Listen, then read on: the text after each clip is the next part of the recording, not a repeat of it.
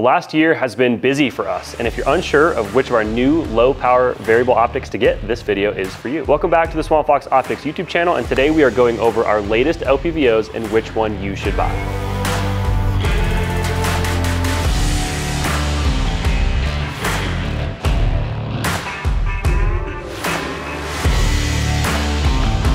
Well, I can't quite just say this one or that one. What I can do is lay out some key differences and hopefully by the end of this video, you'll have a better idea of which LPVO is better for you. LPVO stands for low power variable optic. And in the last year, we've brought two new options to the market. We've brought the Warhorse and the Tomahawk 2.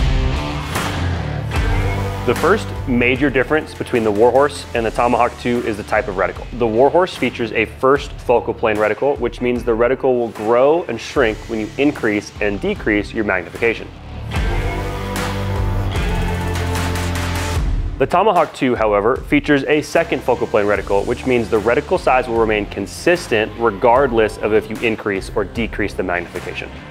The Warhorse will be better if you want accurate holds no matter what magnification you're at, but it comes at the cost of having a smaller reticle at one power and also costing a little bit more. The Tomahawk 2, however, will be better if you want quicker target and reticle acquisition at the cost of your reticle holds only being accurate at maximum magnification.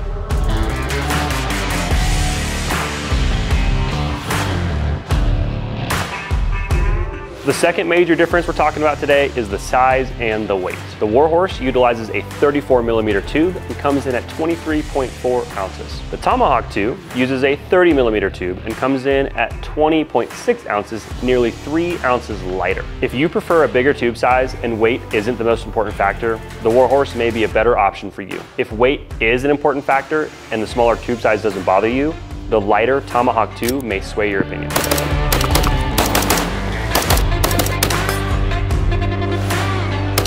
An important note here is that despite the difference in tube sizes, both optics share a 24 millimeter objective lens and all that means is both optics will have about the same light transmission. The third major difference is the cost.